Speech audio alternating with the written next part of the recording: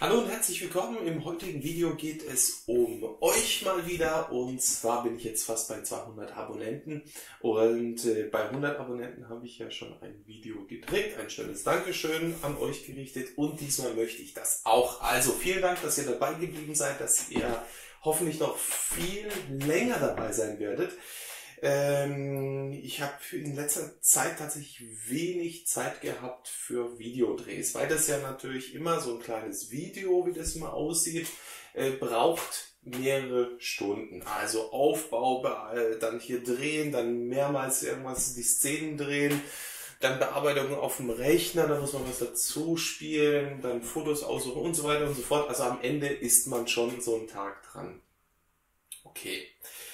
Ähm, das möchte ich aber weiterhin machen und ich habe mir jetzt so ein paar Notizen gemacht. Äh, ich habe natürlich meine Videos bisher so ein bisschen ausgewertet und ich habe gemerkt, so, wenn es um Sony, Sigma und Adapter geht, am besten alles zusammen, dann ähm, gucken ganz viele von euch rein in die Videos. Äh, ich werde jetzt auch als nächstes äh, oder nächstes oder übernächstes Video meine Meinung zum 30 mm 1.4 mal ein bisschen erweitern, weil ich habe das Objektiv jetzt damals ähm, so ein bisschen angesprochen, so die ersten Fotos, die ich gemacht habe am ersten Tag, ähm, die waren jetzt, glaube ich, nicht so wahnsinnig ausschlaggebend, aber ich habe gemeint, okay, das ist jetzt erstmal die erste Meinung, die ich habe von der Wertigkeit und so weiter. Möchte ich jetzt nicht weiter ausführen, das kommt. Ähm, aber ich habe das äh, Objektiv jetzt drei Monate. Ich habe sehr viele Fotos gemacht. Ich habe auch andere Menschen mit der Kamera fotografieren lassen.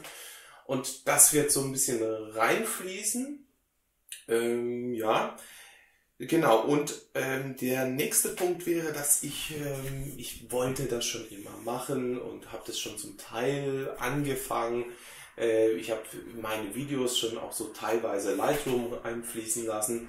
Und ich hab, muss dazu sagen, dass ich mich lange Zeit dagegen gesträubt habe, überhaupt Lightroom irgendwie anzufassen, weil Photoshop, damit konnte man ja alles machen und so. Und mittlerweile ist es wirklich so, dass ich fast alles nur noch in Lightroom mache. Und das hat den Hintergrund, dass man mit diesem Programm unglaublich schnell ist, äh, wenn es um Bearbeitung von vielen Bildern geht. Wenn ich nur noch ein Bild machen würde, also ich hätte zum Beispiel viele Bilder gemacht, aber ich hätte nur Interesse an einem Bild, das ich bearbeiten möchte, dann oder zwei, dann mache ich das in Photoshop. Ja, wobei mittlerweile würde ich das nur noch in auch Lightroom machen, aber das, da wäre noch so die Idee, das mache ich noch im Photoshop.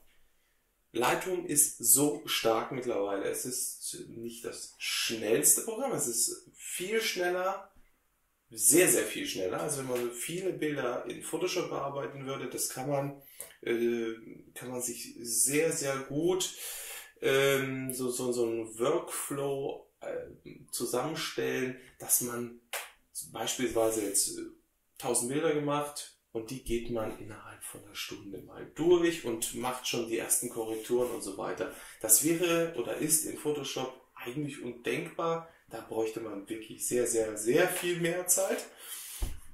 Und meine Idee hier ist, dass ich ähm, 5 Minuten Videos nur zu Lightroom mache. Das sind äh, immer zu einem bestimmten Thema Videos.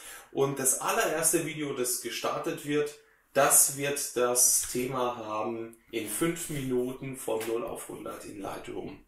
Das heißt, du hast noch keine Ahnung von diesem Programm. Du machst es zum allerersten Mal auf. Du äh, hast dir zum Beispiel mal diese 30-Tage-Version, Probeversion äh, runtergeladen.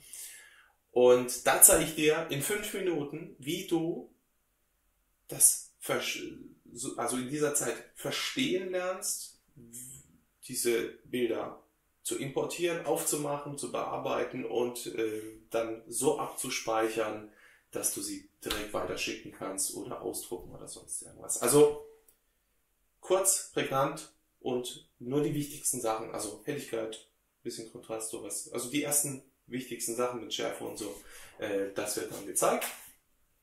Wenn du dann natürlich schon Erfahrung hast im Photoshop, wird es noch viel leichter fallen. Aber Lightroom hat so seine Eigenarten und hat ja, so einfach diese eigenen Sachen, die, die muss man mit der Zeit verinnerlichen. Und ich habe gemerkt, ich habe früher das Programm aufgemacht, also Testversion gehabt, aufgemacht, zugemacht, tschüss. Dann hatte ich mit der Kamera, äh, die Kamera 650D oder die 6D, weiß ich noch nicht, nicht mehr. Ähm, und da war Lightroom 5.6, glaube ich, dabei. Da habe ich es zum ersten Mal ausprobiert. Und das hat wirklich, das hat echt wehgetan am Anfang, weil man keine Ahnung hat. Dann habe ich mir die ähm, Tutorials auf Englisch angeguckt. Dann gingen die auch immer 25 Minuten und dann bis du wirklich nur die Sachen gefunden hast, die du brauchst ganz am Anfang. Und ich möchte das Ding installieren, starten, Bilder rein, zack, schon korrigieren und weg. Ich glaube, dass viele Leute gar nicht so unglaublich viel Zeit da drin verbringen möchten. Vielleicht auch diese Zeit gar nicht haben. Und ich möchte einfach helfen, dass man äh, da gut vorankommt. Gerade als Anfänger, zum Beispiel in Lightroom.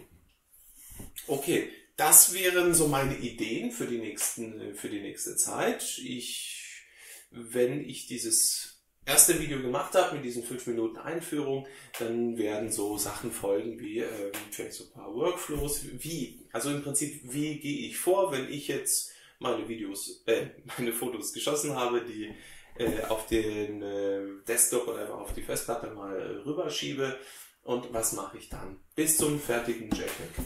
Ja? Und das soll jetzt nicht Stunden gehen, sondern das soll relativ zügig gehen, ähm, aber auch so, dass man es versteht. Gut, ich würde mich freuen, wenn ihr ein Like da lasst äh, und wenn euch das Video überhaupt nicht gefallen hat, dann einfach schön den Daumen runter. Und ansonsten abonnieren nicht vergessen, wie immer und ich freue mich, wenn ihr wieder reinklickt beim nächsten Video. Und wenn ihr das erste Mal hier seid und das hier seht, dann äh, schaut doch mal die anderen Videos an. Hin und wieder gibt es was Lustiges und ein bisschen Making-of hinten dran. Und äh, ja, die ganzen langen Videos habe ich auch immer noch alle drin gelassen. Also kann man auch ein bisschen äh, mitlachen. Und ja, ich wünsche euch eine gute Zeit und bis demnächst. Macht's gut. Ciao.